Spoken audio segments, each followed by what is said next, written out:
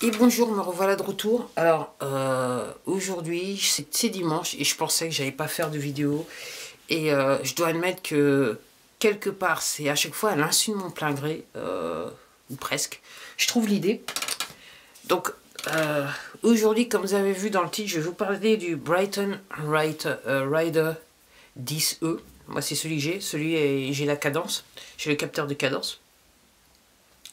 Alors, je suis revenu pour vous dire. Alors, J'avoue que le printemps a, commencé, euh, bien commencé, on va dire cela comme ça, d'une certaine manière, en matière de... Je dis ça juste question, euh, question euh, climat, temps. quasiment, on a certains jours, on a des températures quasiment qui sont proches des, des, températures estivales. Et donc, comme, vous pouvez, comme vous pouvez le deviner, j'en ai profité. Parce que, entre guillemets, tant que je bouge, je suis bien. Une fois que je commence à plus bouger, c'est là que le problème commence. Et j'avoue aujourd'hui que la lumière, c'est pas tout à fait ça parce que. Euh, parce que euh, bah, il, a, il pleut depuis hier après-midi. Et euh, bon, ça, je savais que ça allait arriver. Et je dois dire que c'est pas la forme, c'est le cas de le dire. Donc, tout ça pour vous dire. Donc, comme il faisait beau, je suis parti faire des balades à vélo. Et alors. Je suis toujours très contente de mon Brighton. Ce que je suis obligée de dire, euh, parce que cette semaine, euh, je suis partie... En fait, voilà, j'ai fait une charge. Moi, ce qui... L'avantage du Brighton 10E, et voilà pourquoi je l'aime beaucoup, c'est qu'en termes de charge, la charge, elle dure longtemps. Euh, quand vous chargez l'appareil, j'ai pu faire, sur la même charge jusqu'à présent, j'ai pu faire l'équivalent de 3 heures en balade à vélo.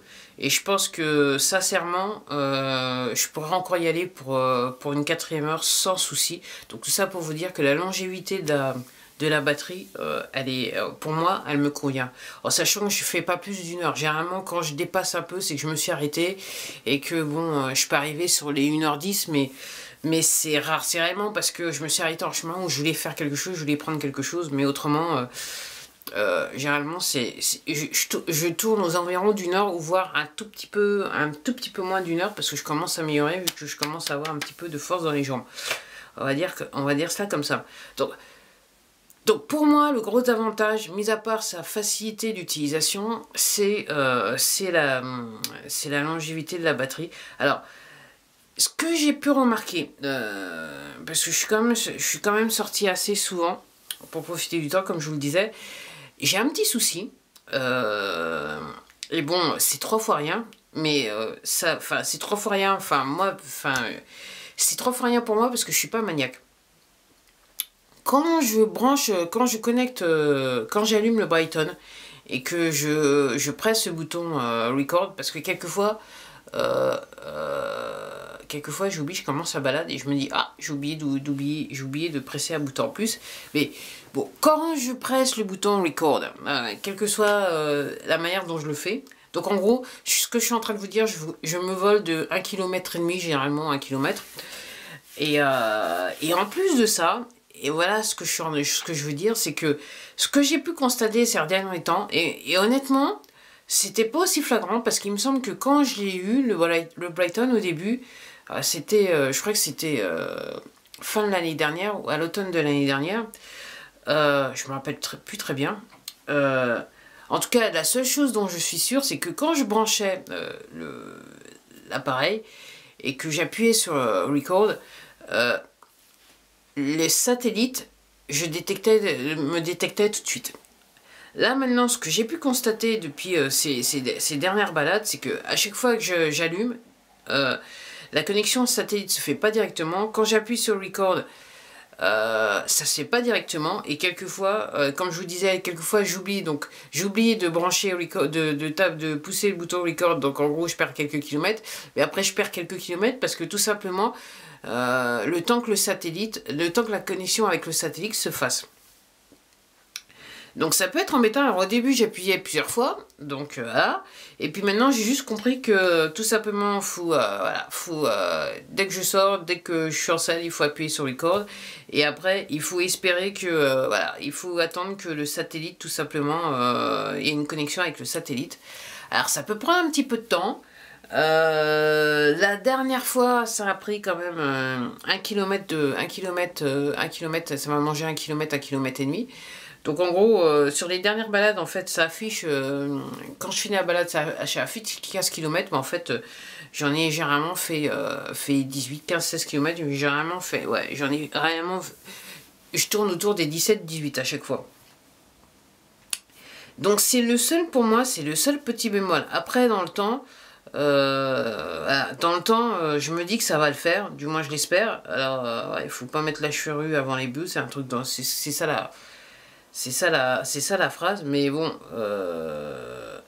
Et là, j'étais en train de me dire... Et là, je découvre un autre bouton et je me dis, est-ce que... Alors, attendez, je vais essayer là. Devant vous. Et je me dis, est-ce que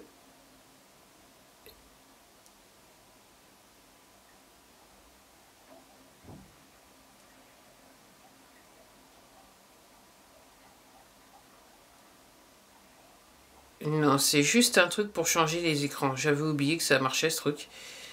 Donc euh, ça n'affecte pas, mais... Euh, euh, je suis me suis dit peut-être que j'ai pas poussé un bouton, mais non, en fait, non. C'est juste que c'était ce bouton-là que j'étais en train de, pousser. Et c'est juste que ça, ça change les écrans, ça affecte, ça affecte les écrans.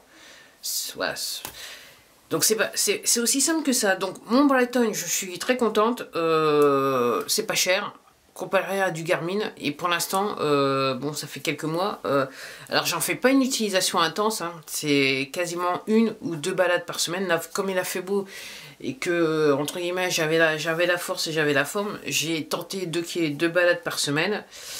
en fonction du temps. Bon, euh, entre guillemets, quand je fais deux balades par semaine, je suis à 30 km, 30-35 km. Donc, euh, bon, je dois dire, alors, quand je regarde, parce que, en fait, je, alors, il y a aussi un autre truc que, j'aime bien, euh, et je, par ça, tout ça, je fais toujours référence à mon bracelet Garmin, c'est que euh, la connexion avec le téléphone portable, moi je suis sur Android, euh, j'ai pris, enfin j'ai un vieux téléphone chinois, enfin je dis vieux maintenant, effectivement, il a parce que je crois que c'est sur Android 5 ou 6, je me rappelle plus, 5.5 ou 6, je me rappelle plus, non je crois que c'est 5.5, et euh, donc, euh, l'application, moi j'ai aucun problème avec l'application, c'est juste que mon téléphone, même de temps en temps, il, bug un peu, mais c'est parce que j'ai trop de j'ai trop de j'ai trop d'applications sur le téléphone, donc j'ai fait un petit peu de j'ai fait un petit peu de ménage, mais euh, tout ça pour vous dire que effectivement la connexion Bluetooth avec le téléphone euh, se fait très rapidement, c'est facile, télécharger les données sur le téléphone c'est hyper facile, moi ça pose pas de problème, et comme aussi l'application Brighton vous permet est aussi connectée à Strava, donc en gros vous voyez vos données sur un, et le, parcours, le parcours que vous avez fait sur Brighton. Et si vous allez sur Strava alors moi j'ai pas j'ai pas je suis pas sur la version premium de Strava. Je suis juste sur la version de base. Pour l'instant ça me suffit. Et euh, ça me suffit parce que euh, et dans le sens que ça me fait plaisir dans le sens que euh, je constate que j'arrête pas de battre mes, mes, mes, propres records personnels. Donc je suis assez contente. Et puis ça, ça vous motive. Entre guillemets l'histoire de l'histoire de d'avoir un ordinateur pour euh, voilà un ordinateur GPS un compteur vélo c'est réellement pour euh, je dirais pédaler euh, à vitesse constante dans le temps. Notamment ce que je regarde c'est la cadence. Donc je suis contente parce qu'avec la cadence j'ai amélioré mon truc. Donc je suis arrivé je suis passé de 50 55 et j'ai arrivé à dépasser les 60 donc c'est pas mal vu que j'ai des problèmes de santé, je, suis très très contente de la performance. Et c'est vrai que comme je commence à, sortir, à sortir un tout petit peu plus avec le temps, effectivement j'ai un petit peu plus de stamina, un petit peu plus de, jus dans les jambes, donc c'est super. Et, euh, et oui, et donc, oui, ce que je disais, je me rappelle, oui. Et donc, effectivement, avec Strava, je vois les, je vois, je vois mes records personnels, mais c'est assez, c'est pas, voilà, pour, comme je dis, moi, je suis pas une pro, j'ai pas, dans, là, tout de suite, au moment où je vous parle, j'ai pas dans l'idée de faire des balades de 100 km, euh, parce qu'après, maintenant, c'est une question de temps.